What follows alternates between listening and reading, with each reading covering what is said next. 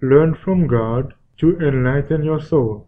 This is your daily devotional reading. Our Father Cares, May 23rd. The March to Victory. But thanks be to God, which giveth us the victory through our Lord Jesus Christ. 1 Corinthians 15, verse 57. Nothing can be more helpless, nothing can be more dependent than the soul that feels its nothingness and relies wholly upon the merits of the blood of a crucified and risen Savior. The Christian life is a life of warfare, of continual conflict. It is a battle and a march. But every act of obedience to Christ Every act of self-denial for His sake, every trial well endured, every victory gained over temptation, is a step in the march to the glory of final victory. If we take Christ for our guide, He will lead us safely along the narrow way.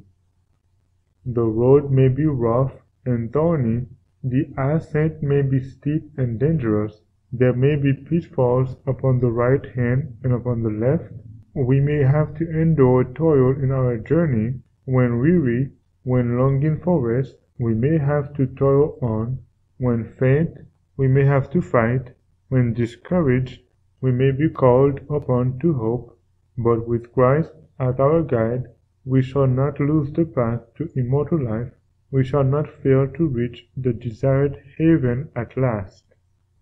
Christ himself has trod the rough pathway before us and has smoothed the path for our feet.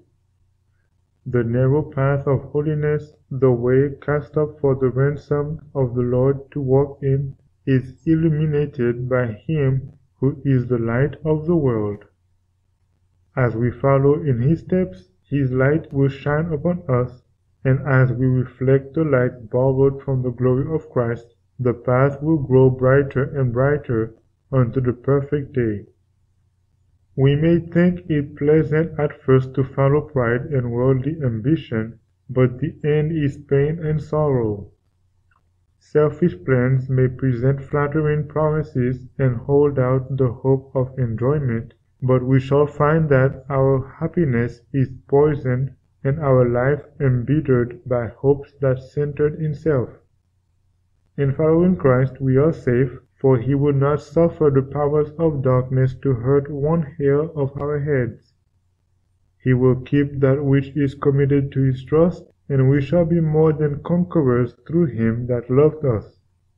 Our Father cares, May 23rd.